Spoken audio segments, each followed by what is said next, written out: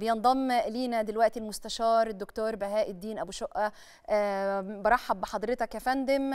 حضرتك كان ليك في هذه الذكرى كرئيس لحزب الوفد تصريح مهم جدا بأنه التاريخ سجل المواقف الوطنية لزعماء الوفد الثلاثه سعد زغلول مصطفى النحاس فؤاد سراج الدين.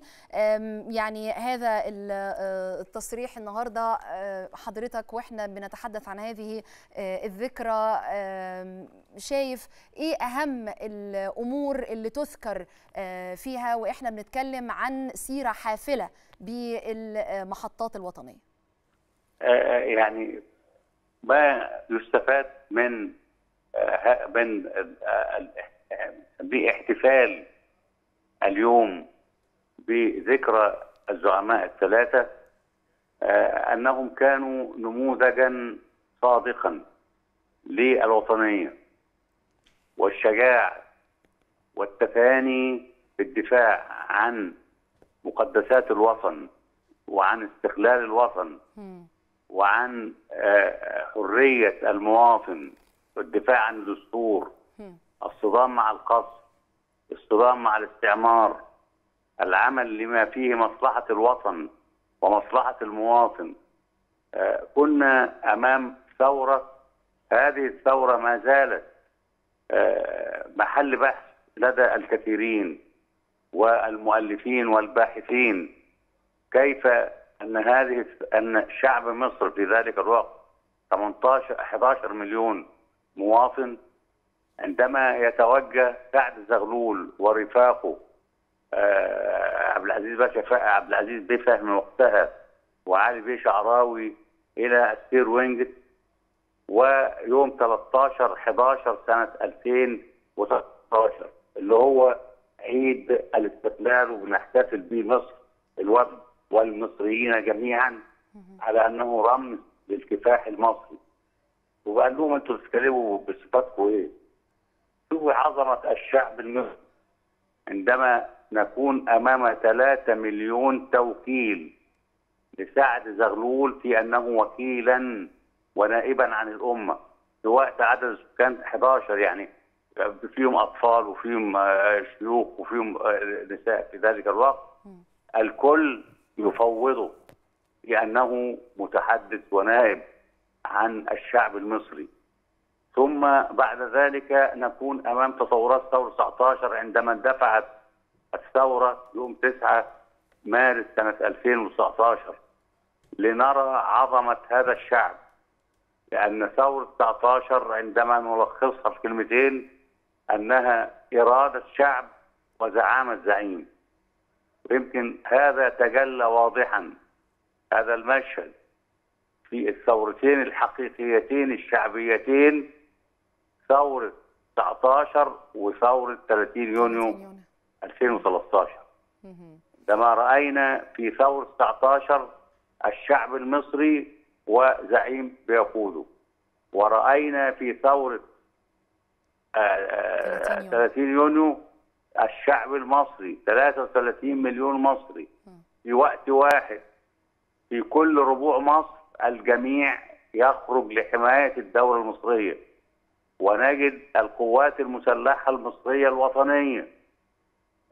وقتها كان الرئيس عبد الفتاح السيسي وزير الدفاع بتقف إلى جوار هذه الإرادة وتحمي مصر من فوضى. ثورة 19 رأينا فيها ومن النتائج التي ترتبت على هذه الثورة. رأينا البشوات والحرفيين والمرأة المصرية لأول مرة تخرج في الثورة وفي المظاهرات التي تطالب الاستقلال التام أو الموت التؤام. نموت نموت وتحيا مصر. رأينا القس سرجيوس يخطف في الأزهر والشيخ دراز يخطف في الكنيسة.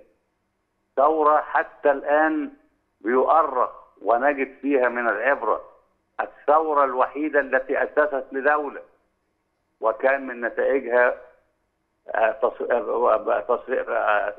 تصريح 28 فبراير في فترة مصر عن الولاية الإسلامية الدولة الإسبانية وكنا أمام مصر دولة ذات سيادة وكنا أمام دستور وكنا أمام انبثاق لحياة وطن ديمقرا- ديمقراطية لنشهد برلمان ومجلس نواب ومجلس شيوخ وكنا أمام افرزت هذه الثورة شباب الثورة اللي لقينا محمود فهمي النقراشي وإبراهيم عبد الهادي وغيرهم كانوا زعماء ووصلوا بعد ذلك إلى رؤساء حكومات. رأينا فنانين زي مثلا مختار آه، و آه، زي آه، العقاد وخلافه.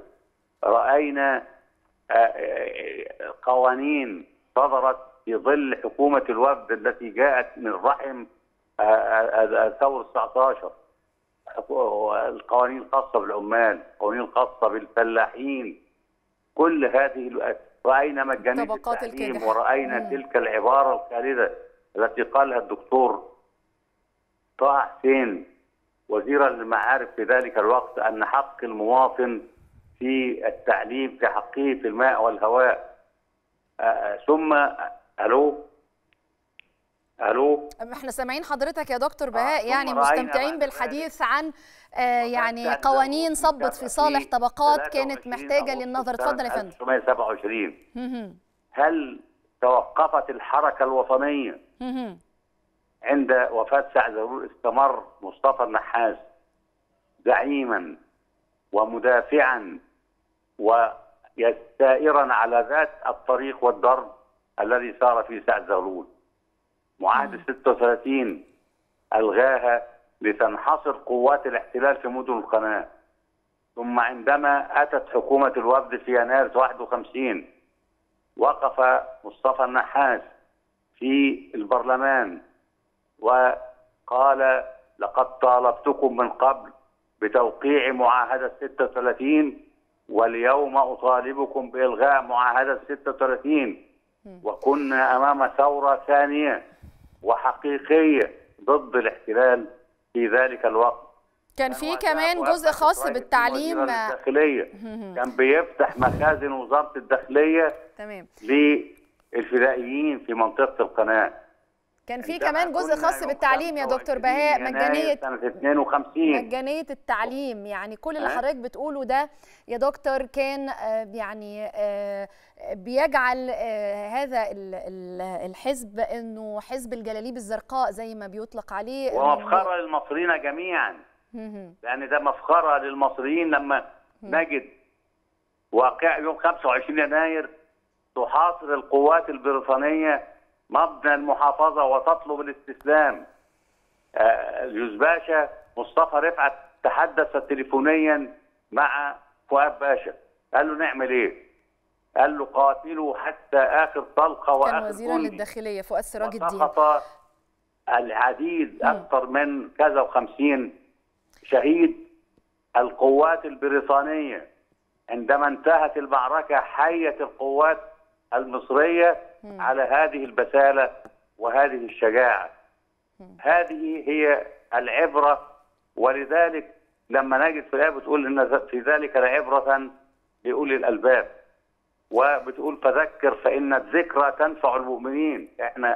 ب- بهذه المناسبة بنذكر المصريين جميعا وليس الوفديين أن منذ أكثر من 100 سنة 100 عام كان في مصر رجال. كافحوا وناضلوا وكان هناك زعماء قادوا بكل شجاعة. إيه اللي مطلوب دلوقتي يا فندم؟ دكتور بهاء الدور اللي بيقع دلوقتي على هذا آه، الحزب. لم يستسلموا. ثم جاء بعد ذلك فؤاد باشا سراج الدين عندما آه، في عصر السادات وعودة عاد بحزب الوفد قويا في سنة 1978 وكنا سنة 84 أمام جريدة الوفد كجريدة قوية بتعبر وبشجاعة وبأمانة الراحل مصطفى شردي كان رئيس التحرير كانت صوتا للمصريين جميعا وليس للوفديين إيه اللي إيه اللي مطلوب يا دكتور بهاء في الوقت الحالي؟ لاستمرار لاستمرار البطولات دي. 23 أغسطس سنه 27 مصطفى النحاس 23 أعتقد الدكتور مش أغسطس. سنة 65 وأب باشا في 9 أغسطس سنة 2000 مهم. دكتور بهاء مش عارفة لو حضرتك سامعني. يعني سؤالي ال- ال- اللي مطلوب من الحزب الآن يعني استمرار البطولات دي الوقوف أمام التحديات الوقوف بجانب كمان الدولة كقضية آه، آه، قومية في مجالات كتيرة آه، جدا بتقف الدولة بكل مؤسساتها بكل هيئاتها وأحزابها أمامها. دي هي مبادئ ثوابت الوفد. ثوابت الوفد ولذلك يعني بيسألوا في إحدى المناسبات بيقولوا لي إيه هي برنامج حزب الوفد. قلت حزب الوفد لديه ثوابت مش حزب لسه وليد هي- هيعمل برنامج لديه مبادئ وثوابت وتقاليد أرساها. زعماء عظام سعد زغلول ومصطفى النحاس سراج الدين إحنا بنسير على هدى وعلى ذات الطريق الذي سار عليه الزعماء الثلاثة بنقف إلى جوار الدولة المصرية. مم. ومن مبادئ حزب الوفد أنه لا يقبل بأي صورة وأنه يضحي بالمال وبالنفس وبكل نفيس في سبيل حماية الدولة المصرية. عندما كنا أمام أزمة ليبيا وأزمة سد النهضة في عز أزمة كورونا دعونا مؤسسات الحزب وأصدرنا بيان واضح أن حزب الوفد يقف إلى جوار القيادة المصرية والرئيس عبد الفتاح السيسي ونؤيده في كل ما يراه لازما لحمايه الدولة المصرية في هاتين الأزمتين بل أكثر من ذلك مم. أرسلنا إليه برقية بهذا المعنى وأرسلنا للسفارات الأجنبية باللغة العربية واللغة ال- الإنجليزية نص هذا التأييد ونص هذه الرسالة لنعلن أن حزب الوفد وإن كان مصنفا أنه حزب معارضة إنما حزب يعارض معارضة وطنية بمبادئه التي تحمي الدولة ولا تسمح بأي صورة من الصور بأي اجتراء على الدولة أو مؤسسات الدولة في هذا المجال. في كل مجال دافعنا فيه عن الدولة المصرية في لقائي مع مندوب الاتحاد الأوروبي للبرلمانات الأوروبية.